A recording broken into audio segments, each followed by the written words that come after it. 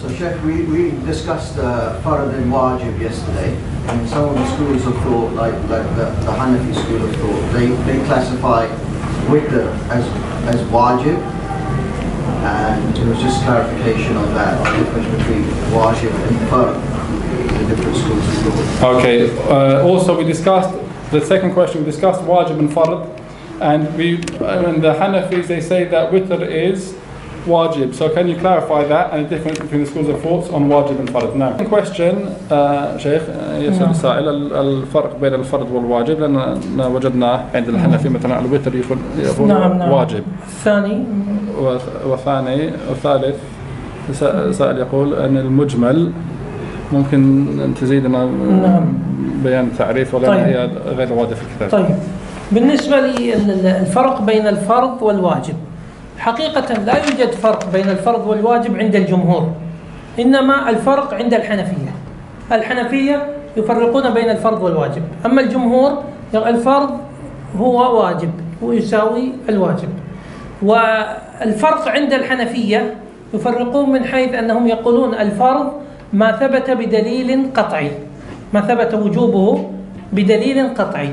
وأما الواجب فما ثبت دليله بدليل ظني.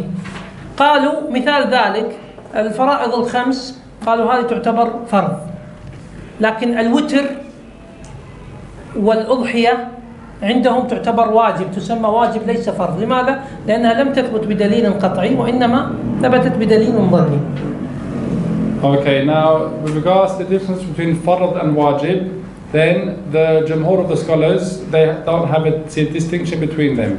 Generally speaking, the distinction is made with the, in the Hanafi madhab or the scholars of uh, the Hanafi madhab. And the difference between them, according to them, is that there's fard, they use fard for something which is, the obligation of it is affirmed by an evidence which is qat'i. Whereas wajib is something which is affirmed by an evidence which is considered dhanni, it's not qat'i. So they will say salawat al-khams, the obligation of the five daily prayers is called fard. And witr they will say is called wajib. Why? Because the salawat al-khams is affirmed by a dalil which is qat'i. We spoke about dalil which is qat'i before dalil which is dhanni, but it, that also takes more explanation. يا شيخ هذا يحتاج بيان عن الفرق بين الدليل القطعي والدليل الظني نعم.